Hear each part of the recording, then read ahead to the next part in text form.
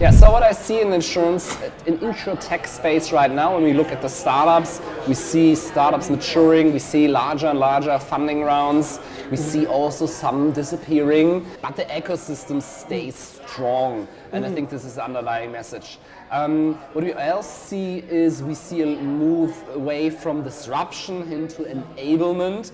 So a lot of insurtech startups are changing their business model from B2C to B2B or B2B2C. Mm-hmm. Um, so um, helping actually incumbents to make the transfer to the new digital era.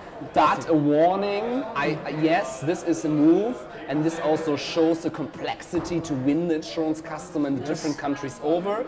But this doesn't mean that we will never see the Uber of insurance. It's still possible, and incumbents should still watch out for that too.